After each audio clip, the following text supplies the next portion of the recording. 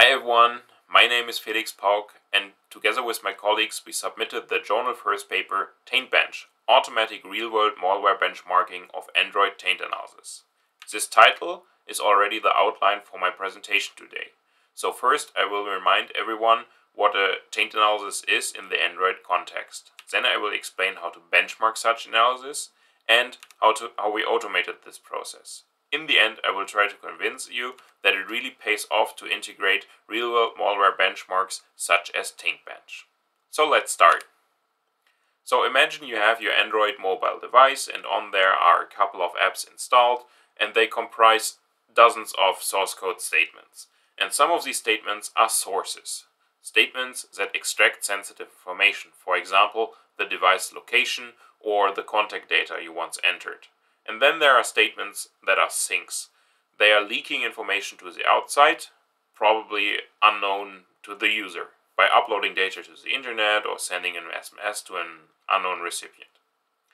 So the question uh, a taint analysis tries to answer is if there are con connections existent between sources and sinks, so-called taint flows. And if the answer is no, then everything is fine. If no source is connected to, a, to any sink, then that's fine. But if there is a connection, then we may have a problem. So, in a benchmark, or a single benchmark app, we comprise such benchmark cases of connected sources and sinks. So, this particular example here includes one expected benchmark case with the second source accessing the contact data that is actually connected to the sink. So this is the first benchmark case of this benchmark app, which is an expected one and we have one unexpected one. So the first source accessing the device's location is not connected to the sink. So if a taint analysis tool finds this connection, that is an unexpected finding and it is a wrong finding, so that would be a false positive. Hence, we uh, document expected and unexpected cases for a benchmark app. A whole benchmark suite then comprises dozens or hundreds or how many you ever can find uh, of these benchmarks apps. So these are the terms I will use throughout the presentation. And one more term, well, whenever I talk about running a benchmark or to run a benchmark or simply to benchmark a tool, that's the process I refer to. We want to execute the tool or multiple tools per benchmark app or case and we want to compare the expected against the actual results output by the tools. Okay, so we had two major contributions along with our study uh, considering TaintBench. So the first is the TaintBench suite. So we started with more than 300 malware apps and then we um, came down to 42 candidates that uh, should make it into our um, TaintBench suite. To reduce the number, we uh, considered behavioral information if it was available and if it was sensible to use in that context. So we basically needed the information if this type of malware actually leaks information, so if it comprises any taint flows, and we regressed it to be uh, the source code to be available, or at least to be um, in a decompilable state such that we can, can get the source code. Then from this um, 42 candidates, we removed three more during peer reviews. Um, so all the taint flows we could find in these candidates, we documented and uh, with multiple authors did that. And only if they could come to an agreement, we added the taint flows and the respective apps to our set that belongs to the suite. So we ended up with 39 apps that fulfill the following three criteria. So the apps are representative.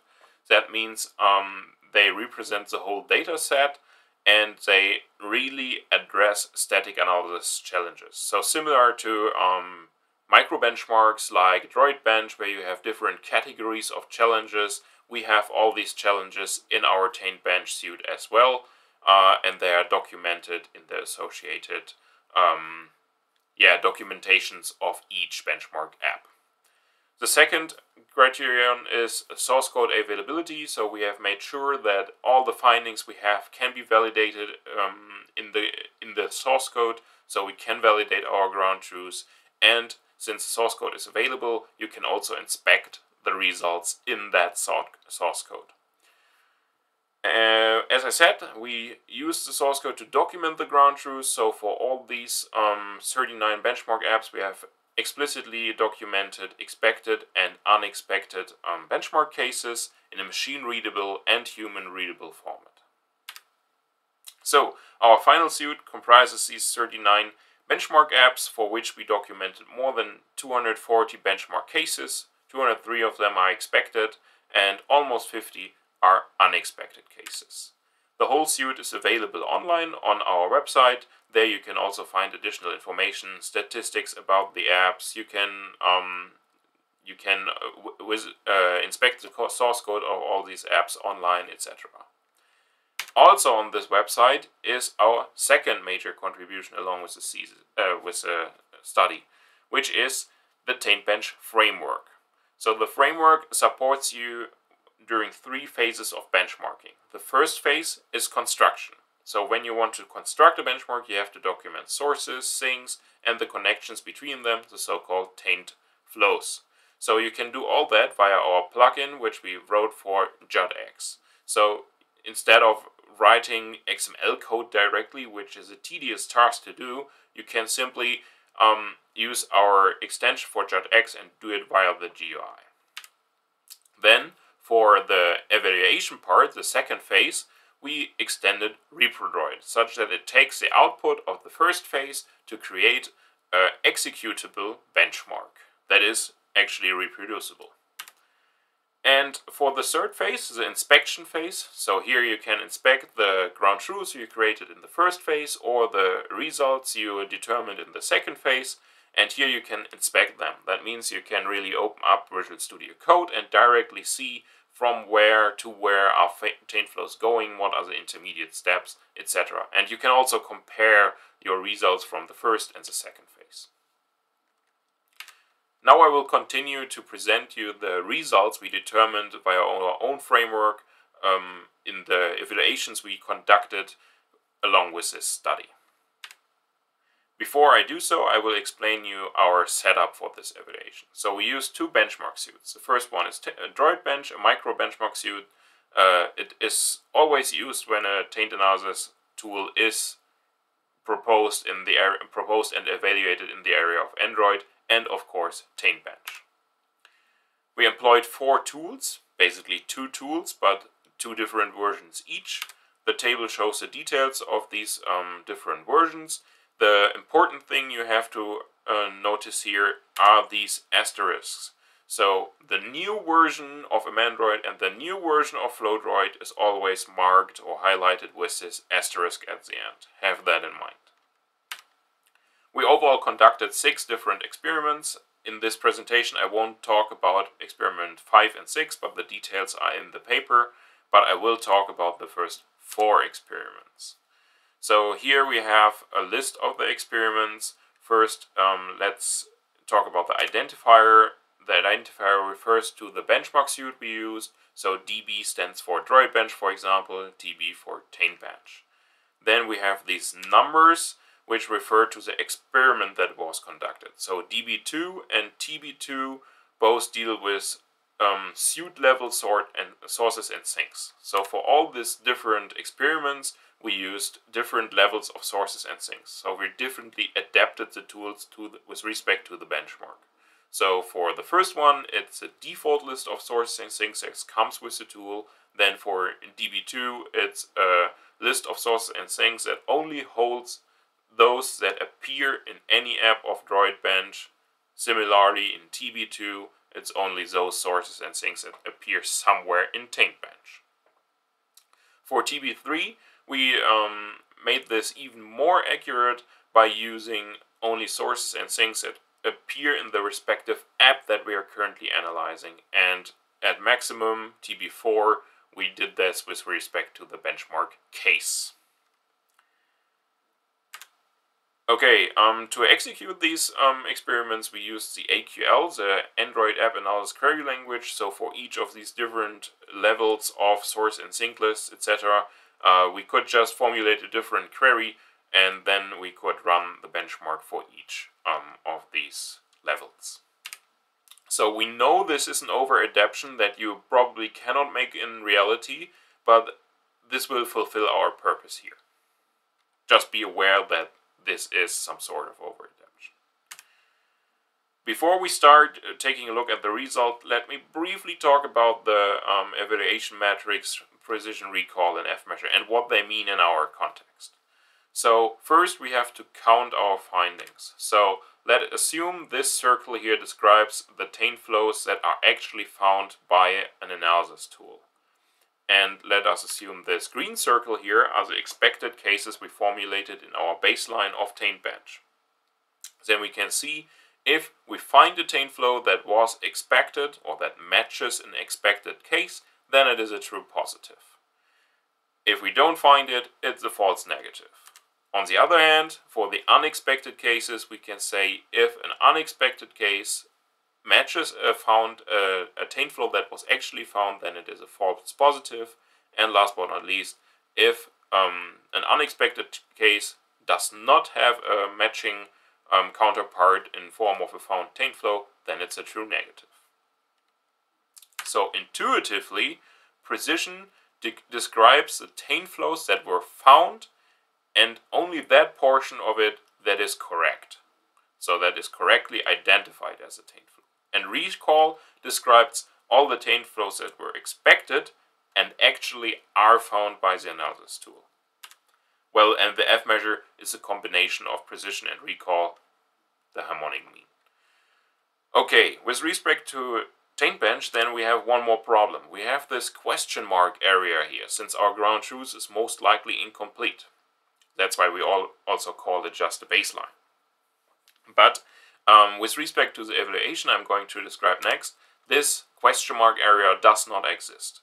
Why doesn't it, it exist? Well, we did an iterative process. So we started running our, our benchmark and then we saw, okay, there are flows in this question mark area. So what did we do? We either added them to our ground truth, to our baseline, or we explained why they should not be included. For example, there were partial flows describing a tiny part of a bigger taint flow. So the big taint flow is probably, with its intermediate steps, is probably in our baseline, but we did not um, document all the tiny partial parts.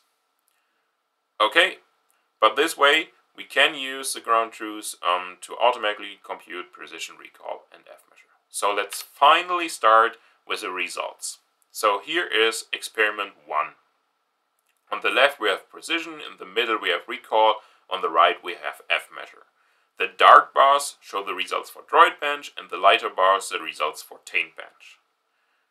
And it's only um, experiment 1 right now. So if we take a look at precision, we already see a drop here for the old version of Amandroid. So precision drops quite a lot, by more than, by about 25% we could say, even more.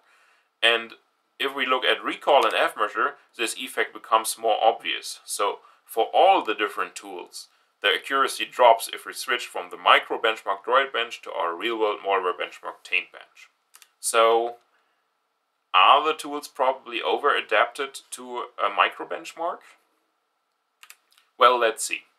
So here again we see the results for droid bench only and uh, we see the two different experiments. So the experiments using the default sources and sink list and the experiment using the source and sink list with respect to the individual benchmark suit.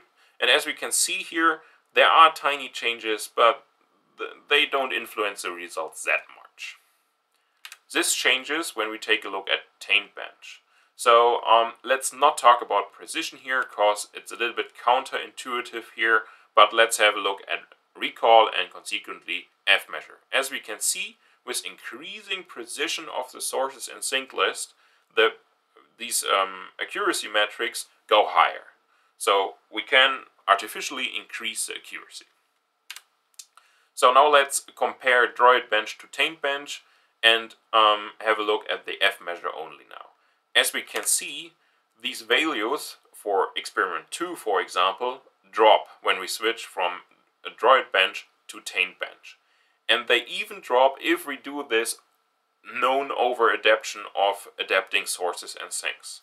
So Under no circumstances, tools are as good as they are for the micro benchmark.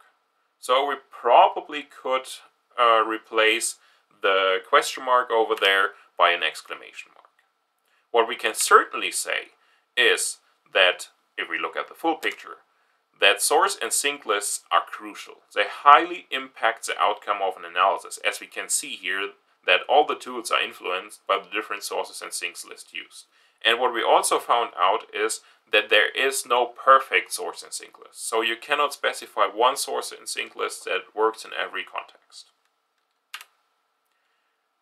So then we have these old and new versions of Amandroid and Flow-Droid. So now let's compare if we have differences between the old and the new version of each tool. First, again, let's have a look at DroidBench. This is only experiment 2, by the way. Okay, and um, if we take a look at the bars with our own eyesight, we can already see that there are some drops. In, in precision, it's hard to see, but for recall and F-measure, it's obvious to see that the actually the newer versions of Amandroid are worse than the old version. So that means there is a regression that could have been detected by just using Droid Bench already.